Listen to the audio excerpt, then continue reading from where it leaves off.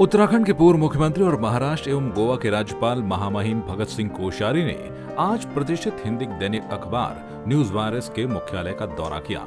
होली की शुभकामनाएँ देने के साथ साथ महामहिम भगत सिंह कोश्यारी ने संपादकीय टीम के साथ मुलाकात की और ग्रुप एडिटर मोहम्मद सलीम सैफी के साथ चाय पर चर्चा भी की। आपको बता दें, इस मौके पर जय भारत टीवी के मैनेजिंग एडिटर नितिन गुप्ता भी मौजूद रहे, जिन्होंने भगत सिंह कोश्यारी का स्वागत किया। आपको बता दें, इन दिनों महामहिम कोश्यारी अपने उत्तराखंड दौरे पर देहरादून में मौजूद हैं।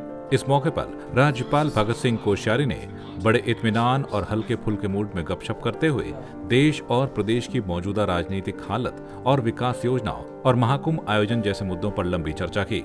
आपको बता दें कि उत्तराखंड ही नहीं, देश की सियासत में महामहिम भगत सिंह कोश्यारी का एक ऊँचा मुकाम माना जाता है। आरएसएस और बीजेपी संगठन में गवर्नर भगत सिंह कोश्यारी की पहचान एक संविधान विशेषज्ञ और कुशल प्रशासक के तौर पर भी होती है। यूँ तो महाराष्ट्र के गवर्नर बनने के बाद महामहिम भगत सिंह कोश्यारी राष्ट्रीय स्तर पर हमेशा सुर्खियों में रहते हैं, लेकिन उनका देहरादून दौरा भी कई मायनों में अहम माना जाता है। इस मौके पर महामहिम राज्यपाल भगत सिंह कोश्यारी ने जय भारत टीवी के मैनेजिंग एडिटर नितिन गुप्ता को खास तौर पर बधाई दी कि उनका टीवी चैनल उत्तराखंड ही नहीं उत्तर प्रदेश में भी बेहतरीन खबरों का प्रसारण कर रहा है और उनके संग जुड़ी युवा टीम को भी बधाई देते हुए महामहिम ने कहा कि आने वाला वक्त सोशल मीडिया, यूट्यूब चैनल और डिजिटल मीडिया का है।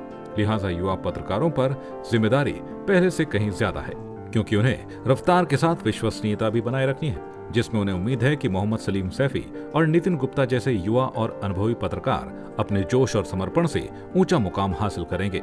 इस मुलाकात में कुछ खास मेहमान भी शामिल रहे। जिनमें मैक्स हॉस्पिटल देहरादून के प्रतिनिधि के तौर पर डॉक्टर हिमांशु भूषण जोशी और ब्लड फ्रेंड संस्था के सुमित गर्ग भी शामिल थे, जिनसे महामहिम कोश्यारी ने समसामयिक विषयों पर चर्चा की। इस मौके पर राज्यपाल भगत सिंह कोश्यारी ने पूरी टीम को ईमानदारी से सकारात्मक पत्रकारिता करने के लिए हौसला तो बढ़ाया ही, साथ ही भविष्य के लिए अपनी शुभकामनाएँ भी दी। जय भारत टीवी के लिए कैमरामैन प्रदीप बिश के साथ नवीन भंडारी की रिपोर्ट।